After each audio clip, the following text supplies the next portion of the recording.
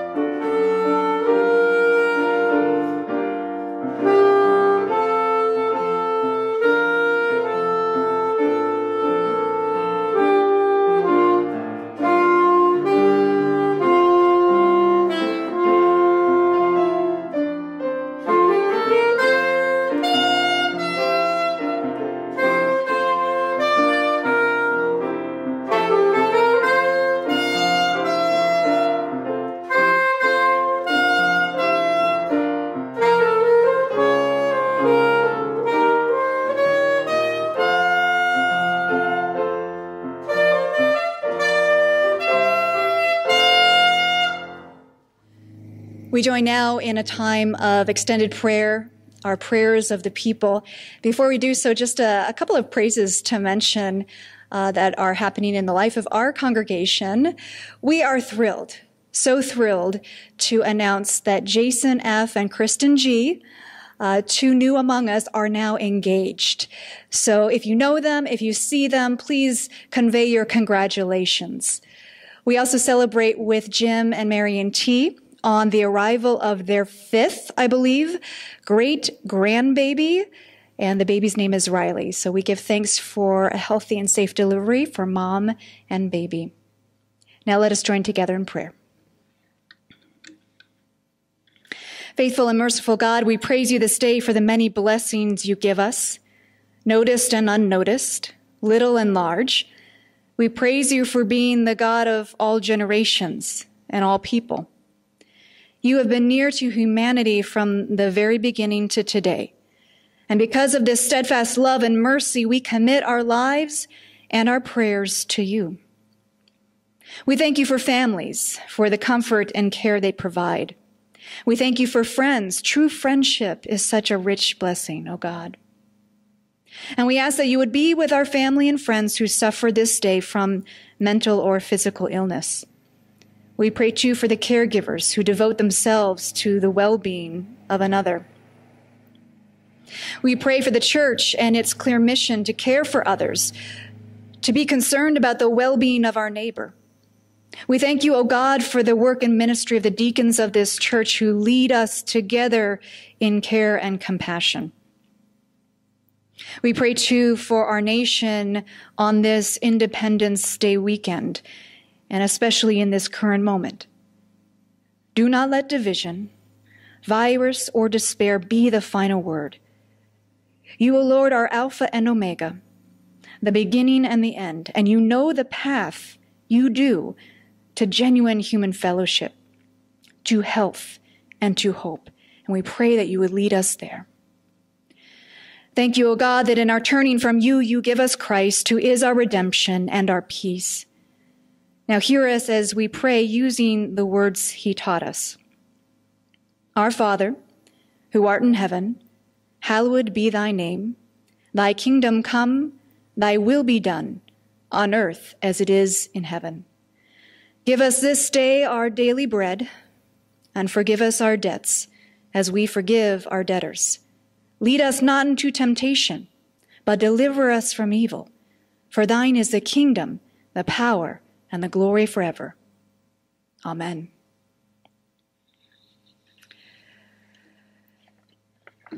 So, we are deep in the book of Nehemiah, going through a series called Flipping God's House. We are exploring the ways in which God, through pressing circumstance, works to bring effective leadership and community resolve. Now, last week in chapter 8, we heard how the priest Ezra called the people together to dedicate themselves to the reading of God's word. And this reading, if you recall, caused them great grief because they knew just how far in hearing God's word, just how far they had fallen away from God's expectations. But interestingly enough, Ezra counseled them not to grieve, but rather to celebrate. In fact, to feast together. I think the thought being there that God's word is a gift. And it's the way that the people know how to be in close relationship with God, even if they're not there yet. And so it's this week long Bible study slash feast for the people. And as we get into the word for today, it's important to say that this isn't simply a glossing over of the state of things. It's not religious positivity, you know, only seeing the good or ignoring or downplaying the bad. The people have not kept God's commandments.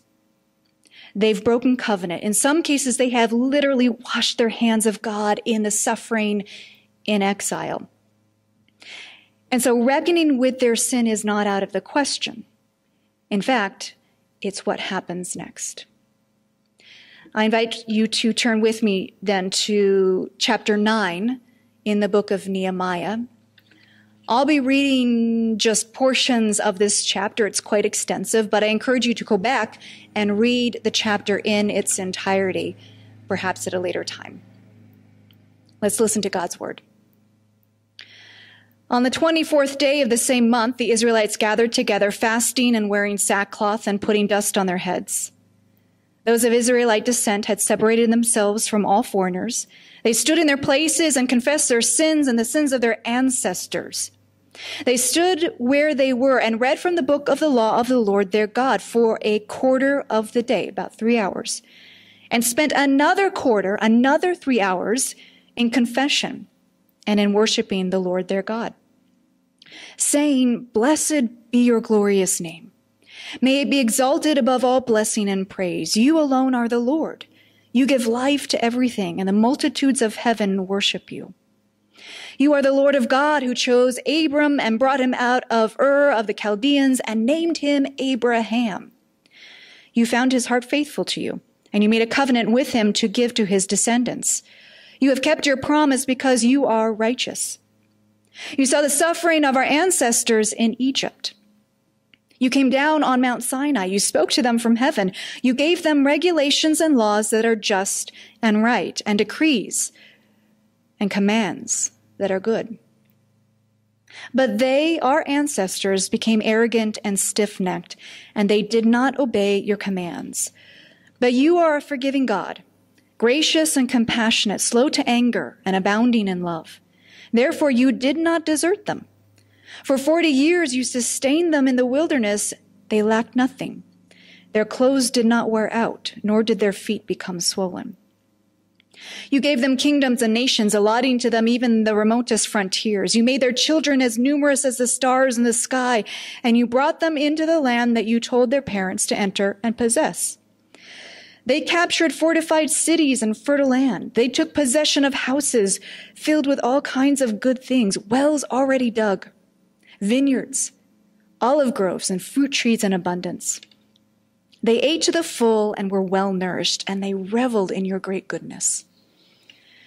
But as soon as they were at rest, they again did what was evil in your sight. They abandoned them, then you abandoned them to the hand of their enemies, so that they ruled over them. And when they cried out to you again, you heard from heaven, and in your compassion you delivered them time after time. You warned them in order to turn them back to your law, but they became arrogant and disobeyed your commands. They sinned against your ordinances, of which you said, The person who obeys them will live by them. For many years you were patient with them. By your Spirit you warned them through your prophets, yet they paid no attention, so you gave them into the hands of the neighboring peoples. But in your great mercy, you did not put an end to them or abandon them for you are a gracious and merciful God. Now, therefore, our God, the great God, mighty and awesome, who keeps his covenant of love, do not let all this hardship seem trifling in your eyes. The hardship that has come on us, on our kings and leaders, on our priests and prophets, on our ancestors and all your people, from the days of the kings of Assyria until today. In all that has happened to us, you have remained righteous you have acted faithfully, while we have acted wickedly. But see, we are slaves today, slaves in the land you gave our ancestors so they could eat its fruit and the other good things it produces. Because of our sins, its abundant harvest goes to the kings you have placed over us. They rule over our bodies and our cattle as they please. We are in great distress.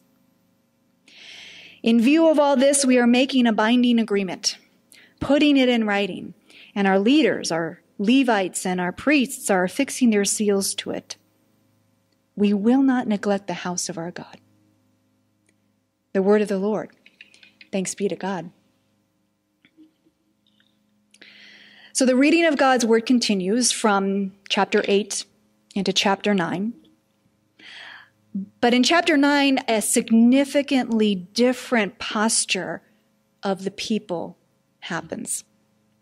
They go from feasting and celebrating God's word to fasting and confessing how far they have come from honoring it.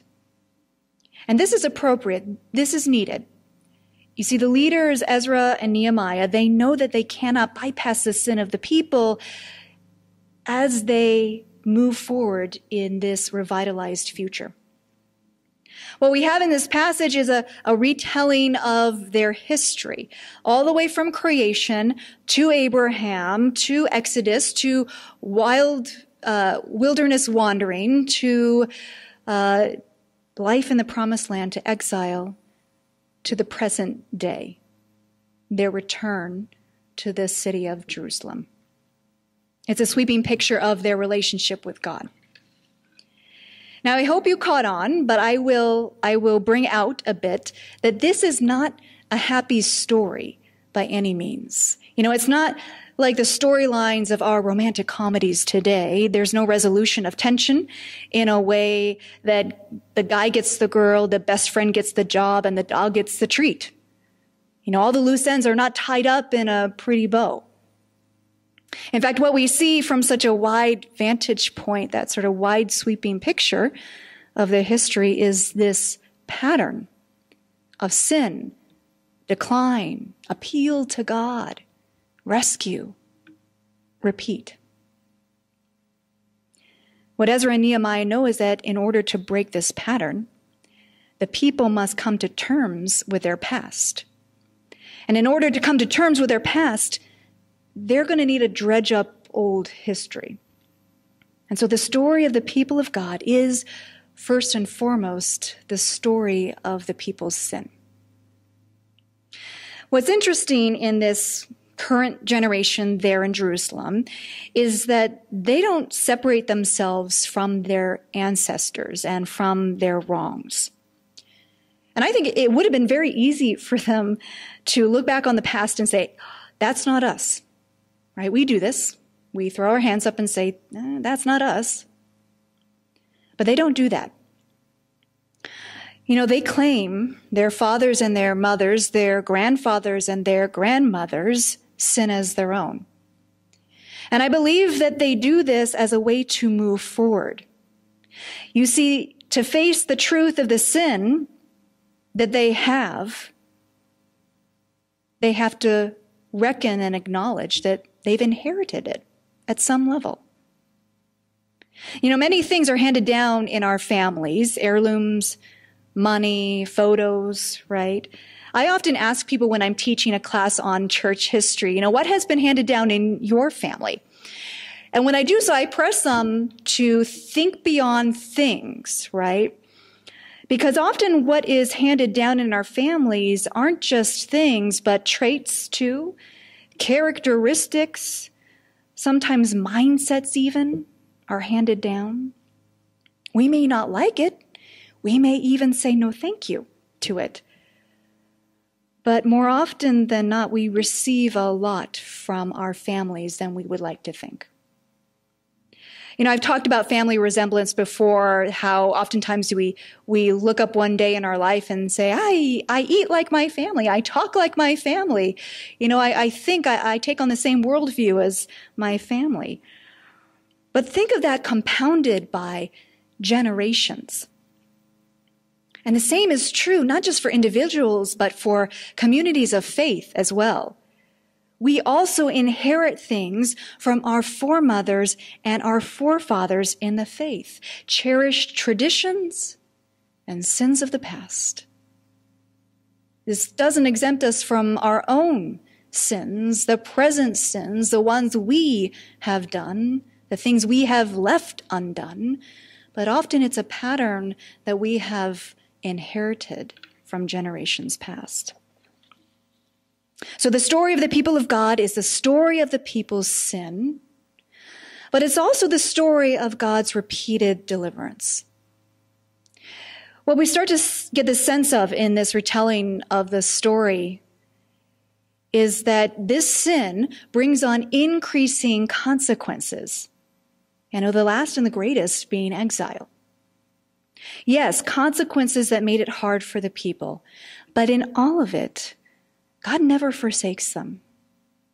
You know, they even say, but in your great mercy, God, you did not put an end to them. You did not abandon them. They give God credit for that. not just God's steadfast faithfulness, but we also hear about God's ultimate promises. Promises that are not yet theirs. You know, they've toyed with it. They've gotten up to the line on these promises, but they have not yet crossed over truly to the promised land. The word of God becomes for them a mirror, right? It shows them clearly what God wants of them and what God intends for them but also the truth that they are not there yet. They hold the mirror through God's word up to themselves. They are not yet there when it comes to holy and relational living with God. They are not yet there then for enjoying the blessings of holy and relational living with God. They know it. They say, We are slaves today, slaves in land you gave our ancestors so they could eat its fruits and the other good things it produces. But because of our sins, its abundant harvest goes to the kings you have placed over us. They rule over our bodies and our cattle as they please. We are in great distress. You see, so you see, even though they are able and have been able to return to the city there in Jerusalem, they are still under Persian rule. They still have to pay substantial tax substantial tribute. They are not their own. And so they do not consider themselves, yet that is, the people of the promise. That's what in that mirror they do not see. And that's what they're working on. Unfortunately, the story of Nehemiah doesn't suggest that it continues in this fashion. Really, I think this is probably a high point for them. Their contrition is real, I believe it but their ability to live up to it is limited. You know, what begins, especially in this passage, what begins as changed hearts fades, and what they eventually wind up with is an unyielding, loveless religion, the hard fruit that Jesus ultimately speaks against in his time. That said, and again, I take this as a, a genuine moment for them when the whole people come together to face the reality of their sin. And together they confess to God. You know, in reading scripture and honoring God's word and celebrating God's deliverance and confessing their sins, they take to heart that being worthy of God's promises isn't easy and it's going to mean for them a great commitment to God and to each other. Confession, especially confession of the whole people, can do this. You know, confession isn't always a part of Christian practice today. We, we at times may even ask, you know, why should we confess our sins? Why do we need to confess our sins? For me, this question is born out of a certain perspective. It's the perspective of we're good people. You know, we may give a little wiggle room for an occasional sin, things like the slip of the tongue, maybe the quick temper or the dark thought. But we're not at the level, oftentimes, of being ready to put on that sackcloth and pouring ashes over our heads. In fact, in this perspective, that seems over the top, right? So why do good, quote unquote, people need to confess? I would argue that confession has an important role to play in our faith, and not just personally, but as a community. Chris Walker, he's a, a pastor and a thinker, says that confession shapes our identity, our relationship with God, our relationships as a community, and even our sense of mission. And I think this understanding is really instructive for us as modern Christians. First, confession is God's way of helping us understand our proper identity. It pushes back on this, this natural but sinful human inclination to make ourselves the center of the world in which I am always right and my needs are always a priority. They always come first. It compels us to put ourselves honestly before God and even others. And second, confession is God's way of helping us be in genuine and healthy relationship with God. You know, the honesty that confession brings us to only makes sense in our relationship to a loving God. Walker says this We do not confess because God is withholding forgiveness. We do not confess our sin because we hope to find God gracious. We confess our sin because we know God is gracious. And because of this, we, we don't have to come before God in, in a posture of confession, fearing rejection as we open our lives up to God, our flaws up to God. You know, with God, confession is an invitation to draw close. Like a mother who, who wants her children to be their best and yet still pulls them in when they've fallen short and know it. This is why the people of God there in Jerusalem can dredge up their past, as hard as that is, as humbling as that is. It reminds them not just of their sin, but also of their loving and forgiving God who has stuck with them through the generations, through thick and thin. Third confession is God's way of building community, of bringing us together. In our faith, if, if we're serious about, you know, our, our understanding of the Bible, our God tells us that our faith can never simply be about my personal salvation or my personal relationship with God. You know, in scripture, God more often speaks to the community and not just the individual. God is shaping us as a people, not just a person. And so the you, when God says you have sinned, is more truly all of you, all of us have sinned. And that means that we, God's people, may be guilty in ways that as an individual, we are not. And so we share the burden of each other's sins. But in this too, that means that we also share in the beauty of God's forgiveness, the formation of God's people as one community. Finally, confession is God's way of clarifying our mission. You know, when we own our own stuff, when we take responsibility for our own sin, we are then freed to live out God's call in God's grace. And that grace then becomes the source of strength in our sending, in our going out and serving God.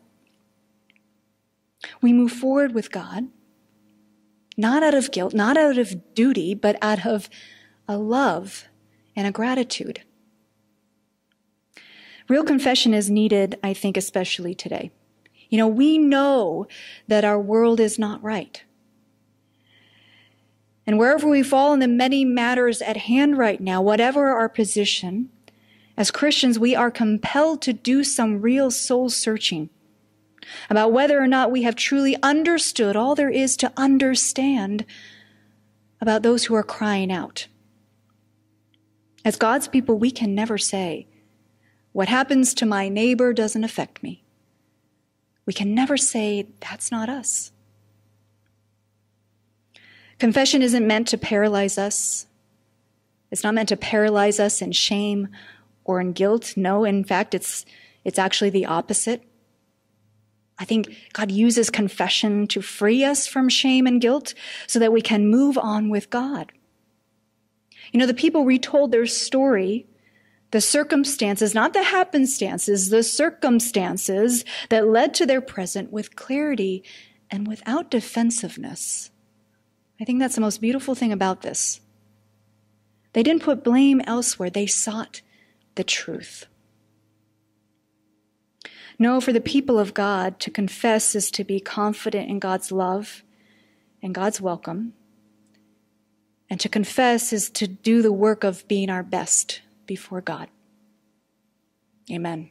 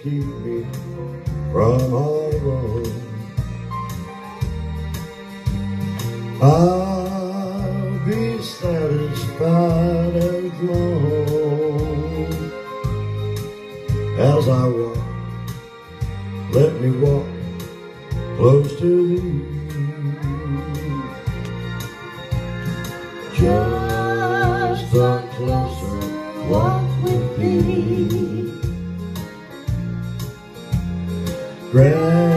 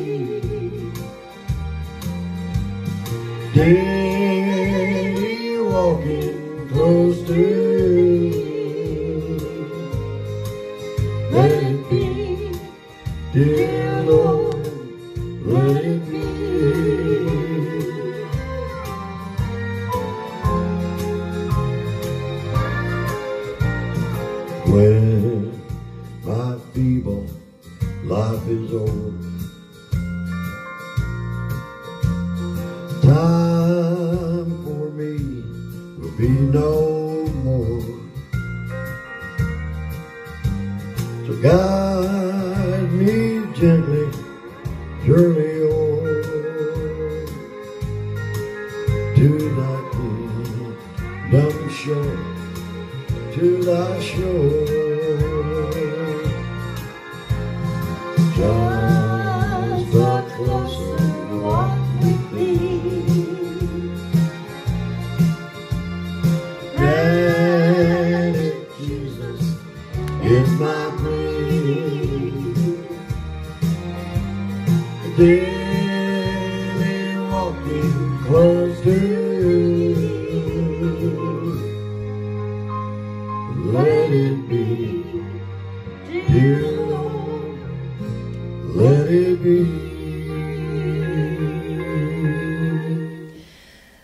are God's people. We are to be salt, light, and leaven in this world. And so, as we go out into the world to serve, let us do so not by our own strength, but out of the grace of God. The Lord bless us and keep us. The Lord make his face to shine upon us and be gracious to us. The Lord lift up his countenance to us and give us peace. Bye for now.